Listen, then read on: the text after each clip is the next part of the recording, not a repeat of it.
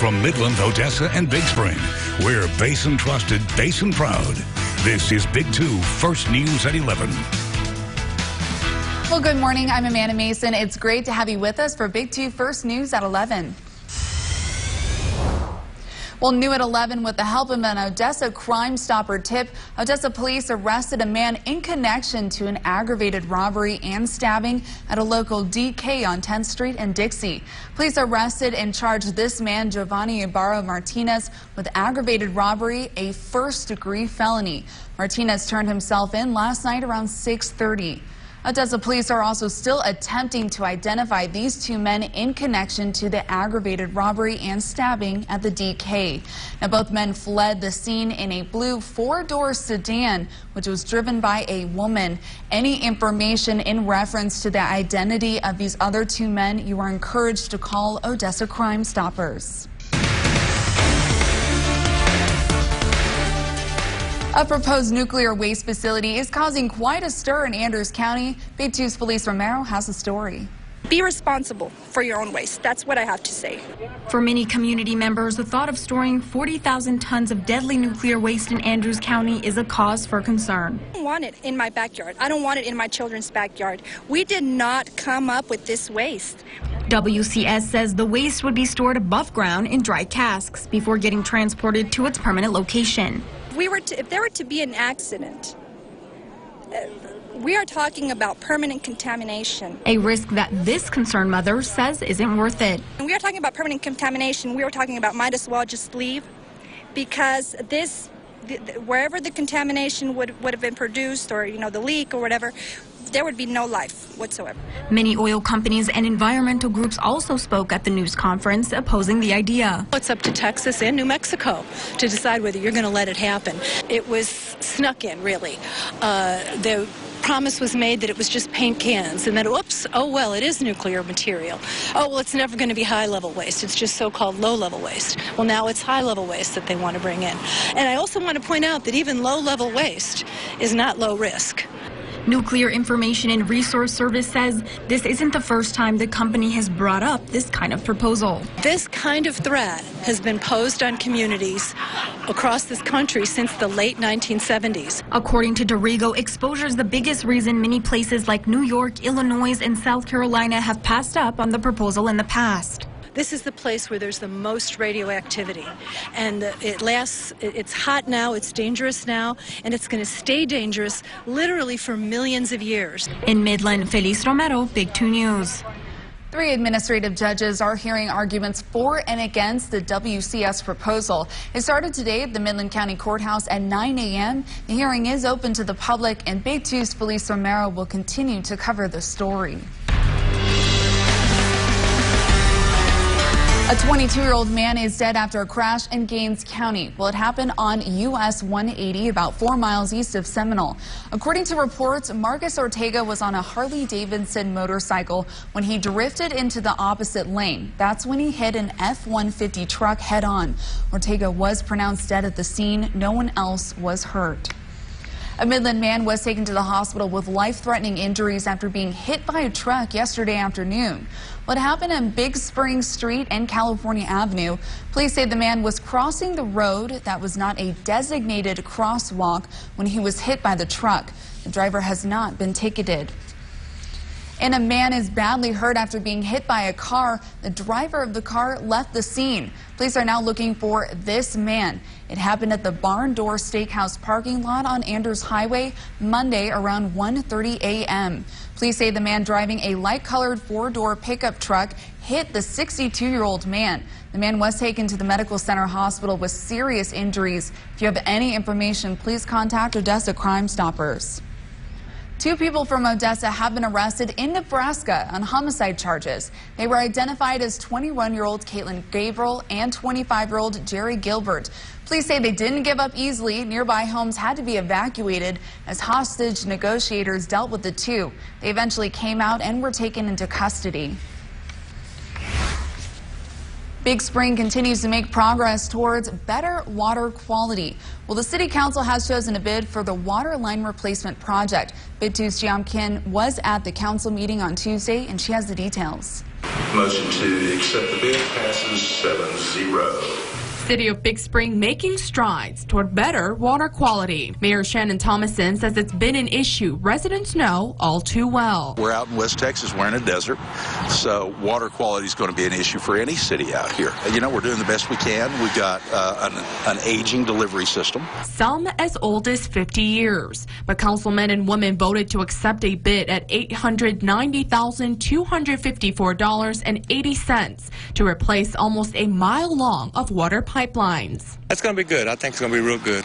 It's something that needs to get done. A 6-inch line on the residential delivery line of Lamar Street, a 10-inch line at the water treatment plant, and a 20-inch line on Donley Street where the pavement caved in, sending a woman's car to plunge in head first. Hopefully less uh, uh, shutdowns because of uh, broken mains. In addition, we hope to see some imp improvement in water quality in those in those areas. The initial estimate for the project was 1.1 million dollars with money left over from the budget, the council may consider amending the budget to add another road in the next council meeting. We're working on it and, and hope to get some improvements in place. I'm Jian Kim, Big 2 News. The accepted bid is with Lupe Rubio Constructions, and the mayor says replacing more pipelines, upgrading the water treatment plant, and working with the Colorado River Municipal Water District to improve the quality of input water is next on the list. The Ector County Commissioner's Court funding for Coliseum improvements were approved yesterday. A 41,000 square foot horse stall barn is currently being built. The nearly $4 million is going to the Coliseum and will be completely funded by hotel occupancy tax. That means no local property tax money will be used for the project. The addition of this will allow us to host uh, competitive rodeo events and uh, horse shows um, 365 days out of the year. Um, and we really feel it's going to impact our event load. Crews are now in the process of pouring footing for the foundation, and the project is expected to be finished by January of 2020. Also in the Ector County Commissioner's Court meeting yesterday, another issue was brought to the table. There's a desperate need for jailers in Ector County. A special program to draw more to the area was presented to Ector County Commissioners. Sheriff Mike Griffis stood in front of the commissioners asking for a jailer sign-on bonus promotion program to be put in place. Currently, the office needs to fill more than 50 jailer positions would get a, a, stipend, a monthly stipend, uh, which would be more more money in their pocket, and it would be a savings to the county. Actually, uh, you know, try to, you know, target the the younger population, you know, uh, that that need jobs. Because of the short staff, he is willing to compromise with commissioners to move forward. Odessa College is announcing a new initiative to teaching students faster in the Permian Basin. Teaching in 3 is a program under the OC to UTPB program. The program is designed to meet the urgent need for teachers in the basin. Most of the courses will take place on the OC campus, and registration is limited to the first 100 students. So if you're interested, contact the college soon. The UT system is recognizing teachers who make a big difference, and that includes two from UT Permian Basin. Stephanie Fife, a lecturer in the Department of Psychology, and Dr. Jason Lagapa, an associate professor of English, are among 27 educators who will be recognized during the Board of Regents meeting in August. Each recipient will receive a certificate, medallion, and $25,000. Basiners are counting down the days until the Tall City Blues Fest. Well, the annual event will take place in downtown Midland this weekend. The lineup includes 22 performers, education workshops with artists, vendors, and even a silent auction. Gates open at 7 Friday night.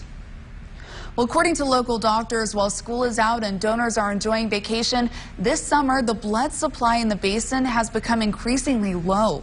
To help replenish local hospital supplies, Vitalant is hosting a blood drive this weekend on Saturday. Now, on Saturday, two blood mobiles will be on site in the parking lot of Midland Donor Center on Midkiff Road. Now, the blood drive will be from 10 a.m. to 4 p.m., and the first 55 donors will receive one Schlitterbahn ticket. Volunteers who donate blood must be at least 16 years old, weigh at least 110 pounds, and be in good health. Now, additional height and weight requirements apply to donors 22 and younger, and donors who are 16 or 17 must have signed permission from a parent or guardian. And according to Vitalant, you can save up to three lives with one donation. To become a donor, you can sign up there on the website on your screen or come in as a walk-in. The George W. Bush Childhood Home is opening its doors to the public for their second Summer Sundae Sunday. Well, if you stop by from 2 to 4 in the afternoon, you can get free ice cream, half price tours, and yard games for the whole family. Now, the goal of the local landmark is to educate the public about the life of the Bush family. A federal appeals, appeals court says that Texas must follow through with certain fixes to the foster care system. Kids in a group home must have 24 hours supervision and the state must study caseload sizes. But the Fifth Circuit also removed other requirements previously set by the federal district judge.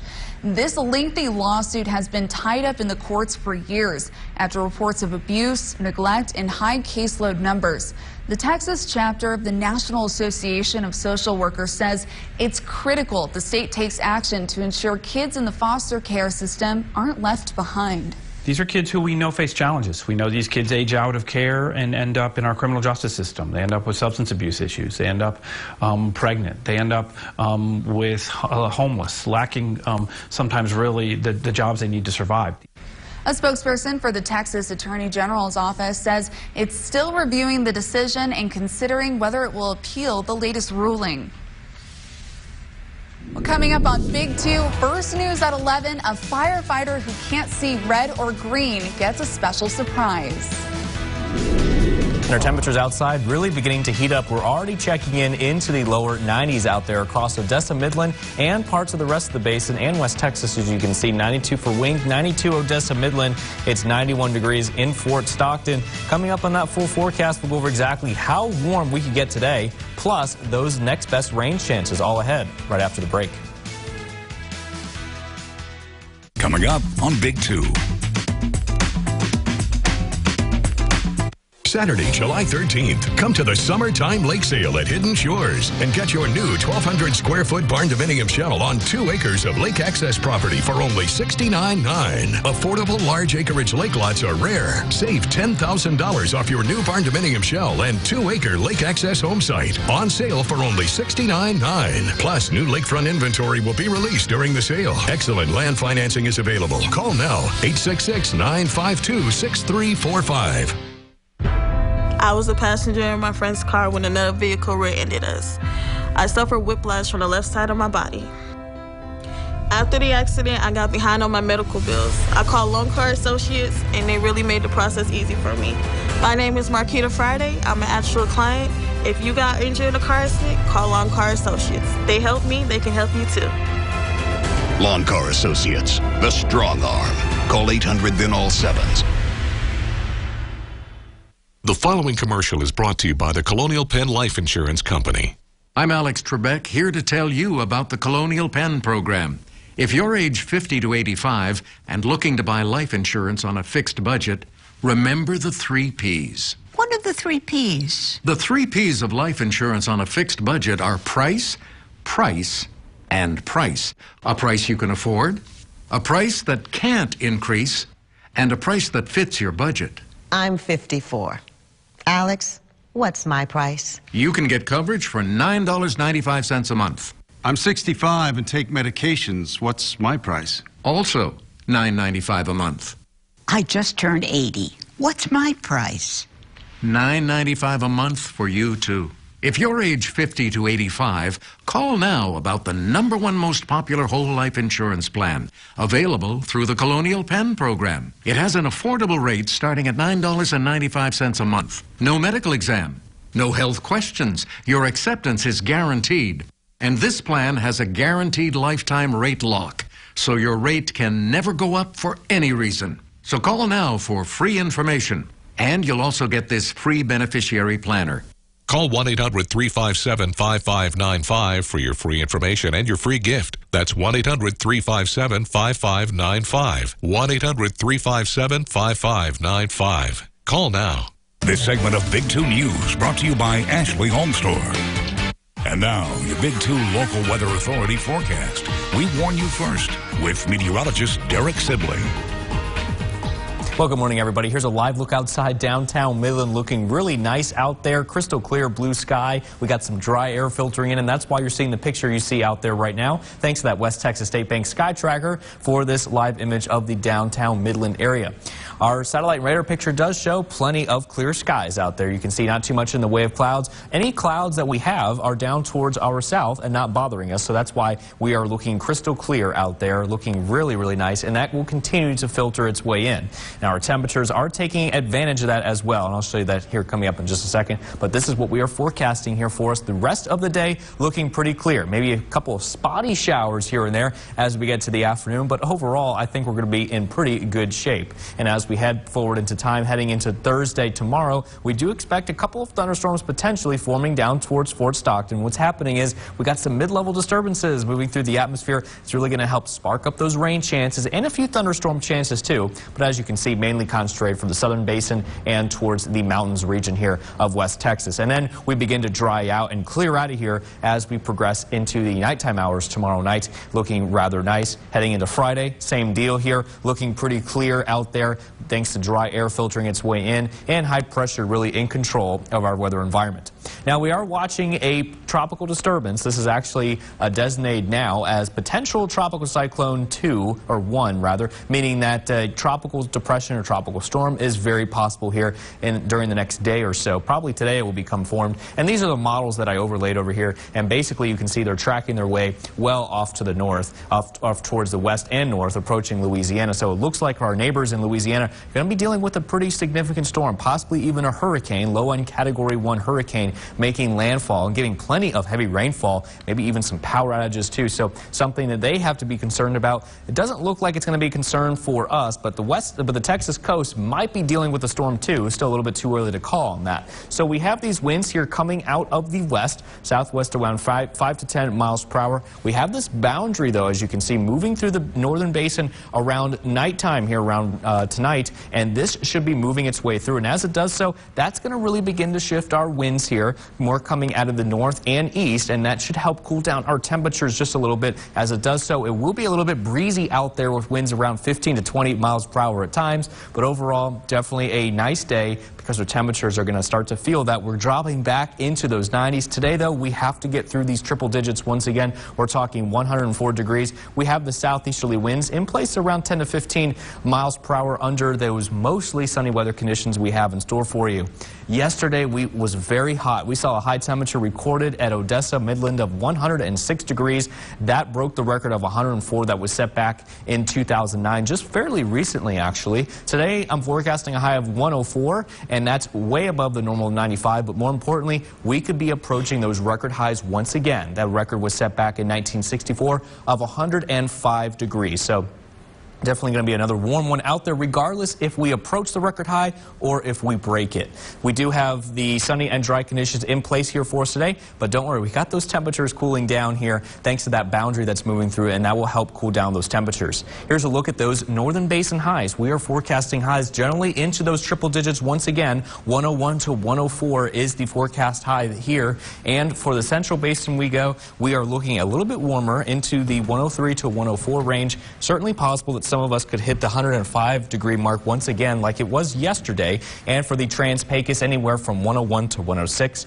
The mountains here also warm for this time of the year, into the mid 90s. Definitely don't really see that this time of year for the mountainous terrain. Here's a look at that seven-day forecast. We do have hot and sunny weather conditions today. Stay, be careful out there, drink plenty of fluids, and stay hydrated. Stay in the shade if you have to be outside. And then heading into tomorrow, temperatures really begin to cool down back to normal with a 20% risk here of some showers and thunderstorms.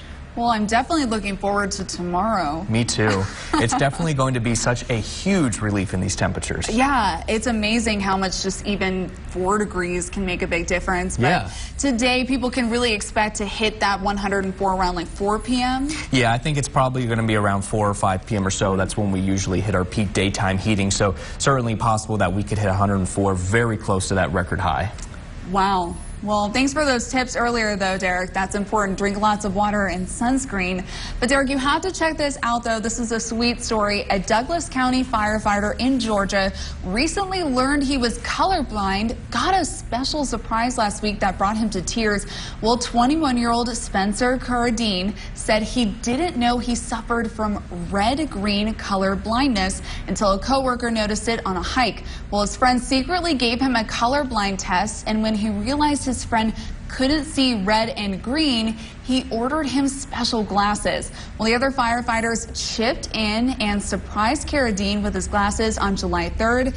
And get this, his first request was to see the American flag. That is unbelievable. I, I heard about those colorblind glasses, and you know I can relate to him because I actually am red-green colorblind myself. No. Yes. I had no idea. Yep, absolutely. Took a colorblind so test long ago when I was a kid. you can't see this flag right now. I can, you know, it's funny. I, I, I can see, no I. I can see the shades, Oh, but okay. it's just, you know, there's certain colors in there. Like if you if you were to give me a colorblind test, Yeah. you know, I couldn't actually pick out the picture in those in those circle of color dots. Oh. Yeah. So. well, you do weather fantastically. yeah, thank so- you. I appreciate that. I'm pretty sure I'm seeing those colors well. You guys are So, safe. Yeah, It's you guys are okay. Trust me, I can pick those out. Um, but it's just interesting. Yeah. Wow. Well, just a sweet story. Well, thank you all so much for that weather. And Yeah. also, still to come on Big First News at 11, new military policies won't stop one National Guard troop from serving. The story and more after the break. Join Planet Fitness for $1 down.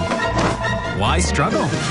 Leave the gym to us. Join for $1 down, $10 a month, no commitment. Ends July 16th. New cardio equipment and more at our Odessa location. Join our Midland or Odessa location. Offer ends July 16th. Hello, folks. I'm Rosalie Michaels, and I'm here with former Dallas Cowboys quarterback Danny White, and we're talking about home safety. Thanks so much for coming in, Danny. Thanks for inviting me. So tell us, why are you so passionate about people protecting their homes? Rosalie, most of the success that I had as the Dallas Cowboys quarterback came as a result of other people protecting me mm. and the confidence that I had that they would protect me. Well, I think that applies to life as well. You know, everybody deserves protection, and what's more important than protecting your home and the people you love? Uh, absolutely. You know, our homes, our pets, our family, all very important. So I heard that you've been working to come up with an offer to help people protect their homes. Is that right? That's right. Our mission is to ensure that everyone receives the protection that they need. So we've come up with an offer that's very affordable that I think all the folks at home will absolutely love. Listen to this.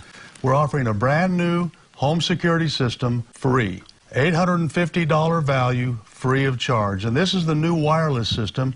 It doesn't require any pre-wiring, doesn't require any unnecessary holes in your walls. So everyone watching today can take advantage of this limited time offer. Wow, it's kind of hard to beat free. so tell us about monitoring. Well, you get 24-7 monitoring for burglar, fire, and medical emergencies from ADT, the number one home security company in America. And professional installation is only $99, and monitoring is about a dollar a day. Trust me, there's no better investment you can make for the things that matter most. And that is very affordable. But is there anything else you could give callers who want to take advantage of this offer? As a matter of fact, the first 20 callers to order will receive a $100 Visa gift card plus two wireless keychain remotes free of charge. So call now and we'll help you protect your home. To get this special offer, call 855 209 6834. That's 855 209 6834.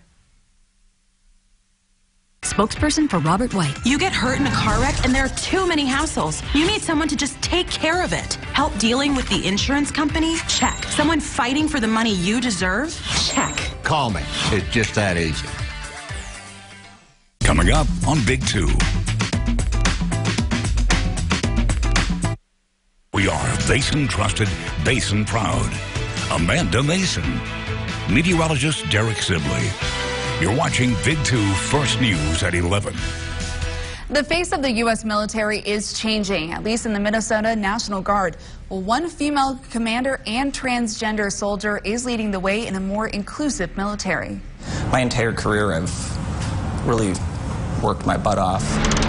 Major Terrence Robertson is serving his second deployment dealing with crisis action planning at Camp Arifjan in Kuwait. We make the long range plans for what's going on in the area of operation. Major Robertson is a commander over hundreds of troops. It's a lot different from the role he played during his first deployment. First deployment was in 2011 2012 to Zabul, Afghanistan, and I was on an agriculture development team. Back then, Terrence was Tara, the first female in Minnesota to serve in a combat zone.